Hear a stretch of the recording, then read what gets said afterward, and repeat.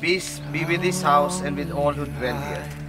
Dearly beloved brothers and sisters, let us pray fervently to Christ, who deemed it worthy to be born of the Virgin Mary, to dwell among us, in order that he may deem it worthy to enter under this roof and to bless this house with his presence.